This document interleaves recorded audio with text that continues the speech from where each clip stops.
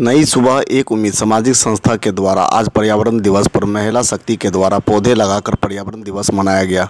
साथ ही महिलाओं ने रैली निकालकर घर घर जाकर लोगों को जागरूक किया। इस कार्यक्रम का आयोजन संस्था की अध्यक्ष ममता समाजसेवी के द्वारा किया गया।